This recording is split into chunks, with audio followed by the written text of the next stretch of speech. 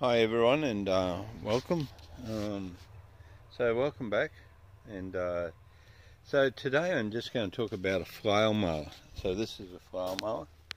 So it's by Cosmo uh, which is in Australia.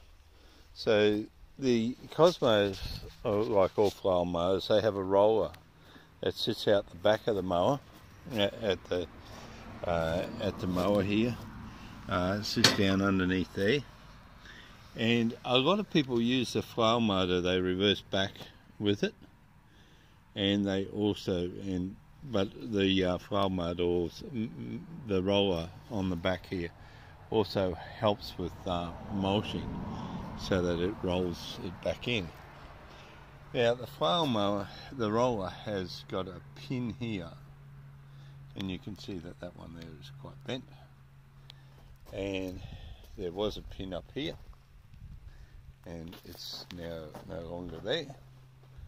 Uh, those pins are mounted in side bearing plates, so to give you an idea that bolts on there, or, or bolts on the side of the back of the mower and the bearing sits in there.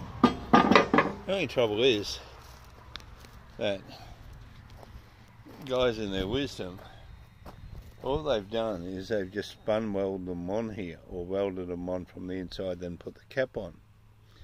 There's no other support inside here so all you have is this little pin in this weld and that's supposed to um, take all the load of this roller on either end. It is absolutely going to fail. It's a fail point this one here is all uh, being bent as well.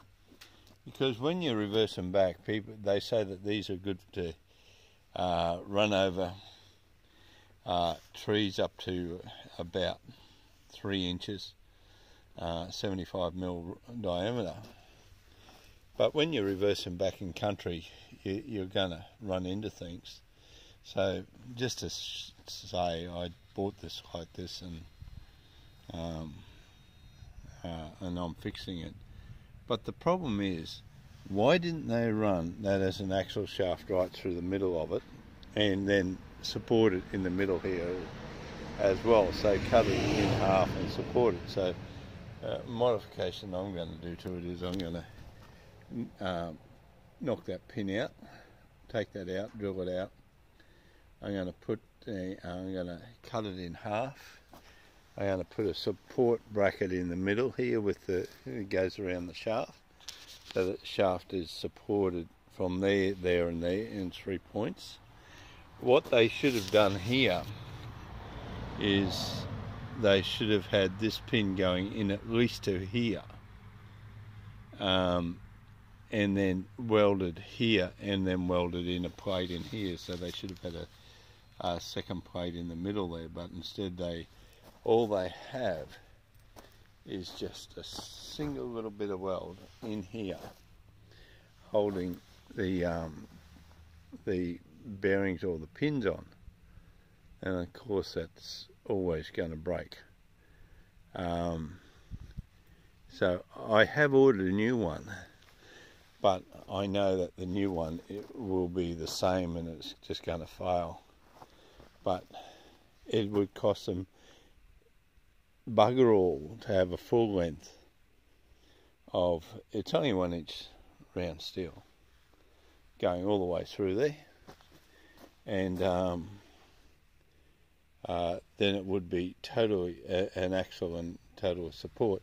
When you have a look at one inch steel, these this harrows over here have got a one inch axle in them so these here have a one inch axle going all the way through them.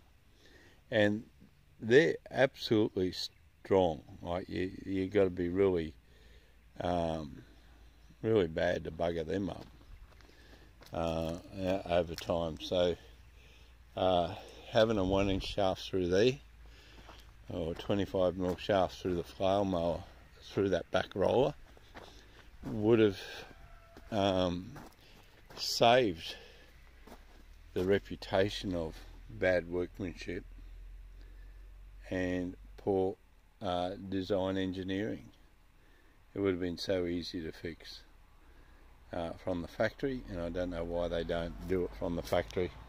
There's no way in the world that was ever ever going to last on a flail mower, uh, especially when a lot of people reverse these flail mowers. As you can see, it's it's a new flail mower.